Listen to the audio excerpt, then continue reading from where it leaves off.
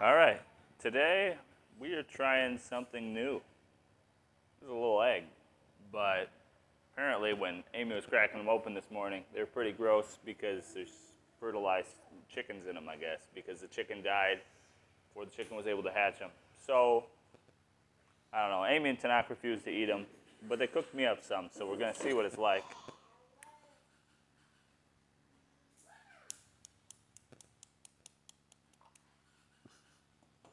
Oh, that's probably how you do it.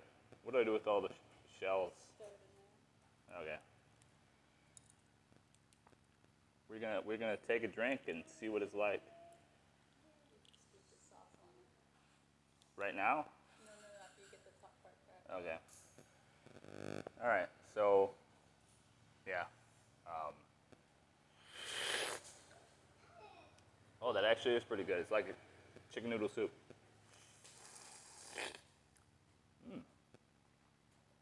That is fantastic. Let's get this open a bit more.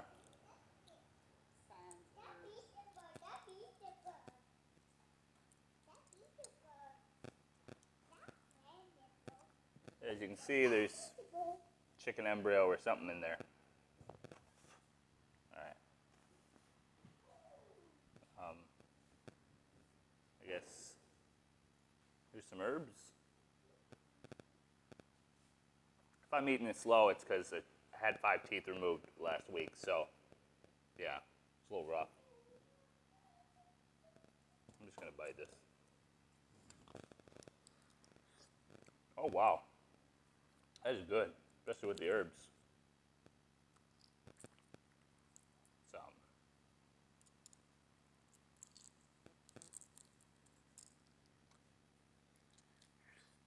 oh. I'm gonna eat the rest of these. Wow. Didn't know eggs could be so good. Usually, like a hard-boiled egg is just so meh. But this, this, this is something else. This is something else.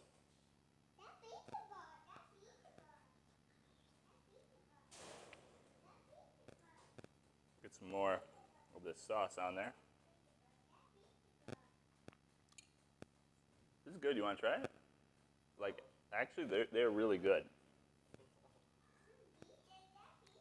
Oh, wow. It's more tender than you would think. You know, with all the like the bones and feathers and stuff in there. I don't even notice.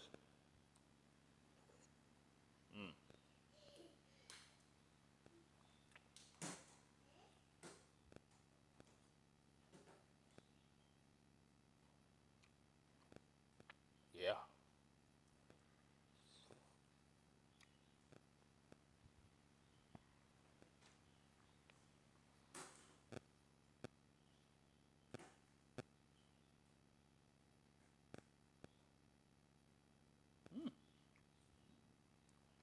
Yeah, some people overcook these, but you cooked them just right.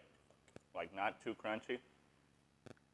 Just right amount amount of solidity, I think. I mean, not that I've ever had these before, but seems about perfect. Especially for someone who just got five teeth removed. Yeah, it's pretty easy.